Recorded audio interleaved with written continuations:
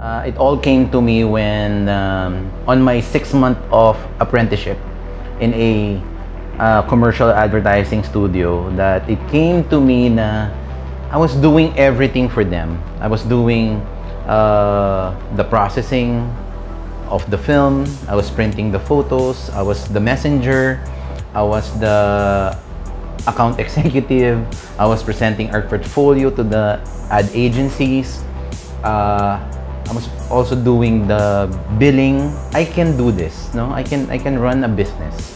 Na coming from a you know, a parang very relaxed, chill uh, lifestyle. I was a tattoo artist and a mountaineer na parang I can manage this on my own. I think photography is for me.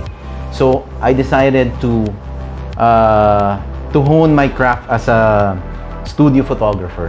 I learned everything that I can from that studio and I put up my my own studio, Edge of Light, 20 years ago.